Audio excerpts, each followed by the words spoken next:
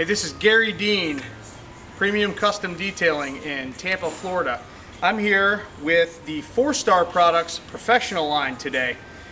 This is the AWS. That's the they use acronyms for all of their products in the professional line. This is their auto wash soap.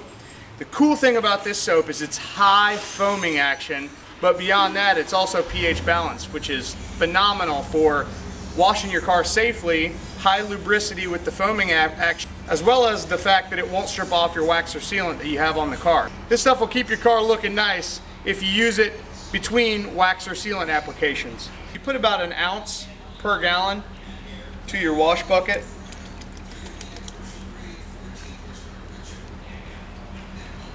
And here we have the Premium Finish Care Wool Wash Mitt.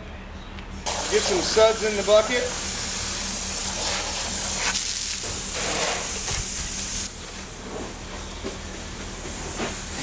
All right, once you've washed all the debris off the car that will come off just by your pressure from your water hose or your pressure washer, if you have a foam gun, that's cool. You can get it all foamed up and prepped and then let it sit for a few minutes so that it can pull the dirt and grime off the paint surface.